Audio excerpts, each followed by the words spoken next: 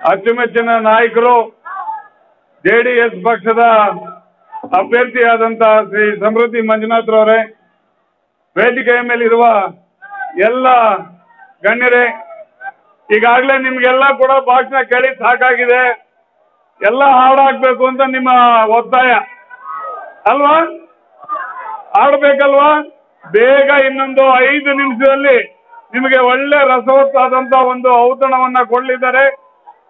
ಬಂಧುಗಳೇ, ಏನಿವತ್ತು ಮುಷ್ಟೂರು ಗಂಗಮ್ಮ ಜಾತ್ರೆಯ ಅಂಗವಾಗಿ ಇವತ್ತೇನು ನಮ್ಮ ನಾಯಕರಾದಂತ ಸಮೃದ್ಧಿ ಮಂಜುನಾಥ್ರವರು ಇವತ್ತು ಈ ಒಂದು ಆರ್ಕೆಸ್ಟ್ರಾವನ್ನ ಏನು ಮಾಡ್ತಾ ಇದ್ದಾರೆ?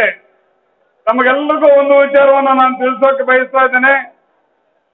ಮಾನ್ಯ ಸಮೃದ್ಧಿ ಮಂಜುನಾಥ್ರವರು ಜೆಡಿಎಸ್ನ ಈ ತಾಲೂಕಿನ ಅಭ್ಯರ್ಥಿಯಾಗಿದ್ದಾರೆ ಮಾನ್ಯ ಕುಮಾರಸ್ವಾಮಿ ಅವರು ಮಾಡುವಂತ ಮುಂದೆ ಮಾಡುವಂತ ಮೂರು ಉತ್ತಮ ಕೆಲಸಗಳನ್ನ ಹೇಳಿ ನಾನು ಬೇಗ ನಿರ್ಗಮಿಸ್ತೀನಿ. ನಿನ್ನೆ ತಾನೇ ಕೊಪ್ಪಳದಲ್ಲಿ ಕುಮಾರಸ್ವಾಮಿ ಅವರು ಒಂದು ವಾಗ್ದಾನ ಮಾಡಿದ್ದಾರೆ. ಕುಮಾರಸ್ವಾಮಿ ಅವರು ಈ ಸಾರಿ ಅಧಿಕಾರಕ್ಕೆ ಬಂದ್ರೆ ಪ್ರತಿ ರೈತನಿಗೂ ಕೂಡ ಒಂದು ಎಕರೆಗೆ ಹತ್ತು ಸಾವಿರ ರೂಪಾಯಿ ಅವ್ರ ಅಕೌಂಟ್ಗೆ ಹಾಕ್ತೀನಿ ಅಂತ ಹೇಳಿದ್ದಾರೆ. ಯಾರಾದ್ರೂ ಈ ರೀತಿ ವಾಗ್ದಾನ ಮಾಡಿದಾರ? ಯಾರು ವೃದ್ಧರಿದ್ದಾರೆ? ಯಾರು ಮುದುಕರಿದ್ದಾರೆ?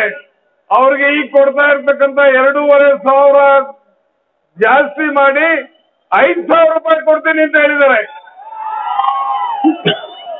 ಹಾಗೆ ಏನು ವಿಧವೆಯರಿಗೆ ಅವ್ರಿಗೂ ಕೂಡ ದುಪ್ಪಟ್ಟು ಮಾಡ್ತೀನಿ ಅಂತ ಹೇಳಿದ್ದಾರೆ. ಕುಮಾರಸ್ವಾಮಿ ಅವರು ಅಧಿಕಾರಕ್ಕೆ ಬಂದ ತಕ್ಷಣನೇ ಸ್ತ್ರೀ ಶಕ್ತಿ ಸಾಲಗಳನ್ನೆಲ್ಲ ಮನ್ನಾ ಮಾಡ್ತೀನಿ ಅಂತ ಹೇಳಿದ್ದಾರೆ. ಅಪ್ಪ, ಕಾಂಗ್ರೆಸ್ ಮಹಾನುಭಾವ್ರೆ ಇಂಥದ್ದು ಯಾವ್ದನ್ನ ಒಳ್ಳೆ ಕೆಲಸ ನಿಮ್ ಬಾಯಲ್ಲಿ ಬಂದಿದ್ಯಾ? ನಿಮ್ ಬಾಯಲ್ಲಿ ಬಂದಿದ್ರೆ ಹೇಳಿ. ಈ ಬಾರಿ ತಾವೆಲ್ಲ ಕೂಡ ಮನಸ್ಸು ಮಾಡಿ ಸಮೃದ್ಧಿ ಮಂಜುನಾಥ್ ಅವರನ್ನ ಅಸೆಂಬ್ಲಿಗೆ ಕಳಿಸಿದ್ರೆ ಎಲ್ಲ ಕೂಡ ಏನು ಆಶ್ವಾಸನೆಗಳಿಗೆ ಕೊಟ್ಟಿದೆ. ಅವೆಲ್ಲ ಈಡೇರ್ತವೆ ಅಂತ ಹೇಳ್ತಾ ನಾನು ಎರಡು ಮಾತು ಮುಗಿಸ್ತಾ ಇದ್ದೇನೆ. ಜೈ ಹಿಂದ್, ಜೈ ಕರ್ನಾಟಕ.